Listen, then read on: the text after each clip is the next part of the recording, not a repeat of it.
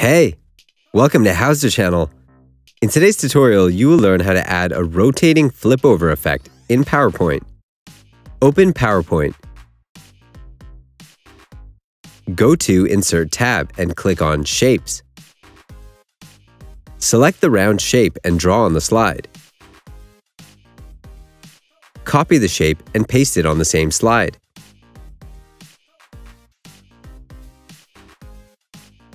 Move the shape. Select the shape and click on Styles at the top panel. Choose the style you like. Select the first shape. Go to Animations tab. Click on the arrow to show the full list of animations. Choose Green Swivel Animation. Select the other shape. Go to Animations tab. Click on the arrow to show the full list of animations. Choose Red Swivel Animation. Click on Animation Pane at the top panel. Select the second shape. Click on Move Earlier at the top panel.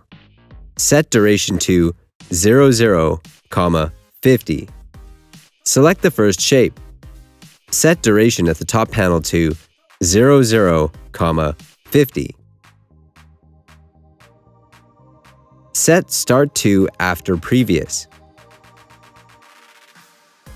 Move the first shape to hide it under the second shape.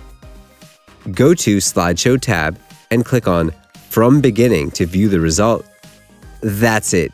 Thanks for watching the video. Please like it and let us know if you used any of our tips and tricks. Subscribe to our channel. We upload new tutorials every day. See ya!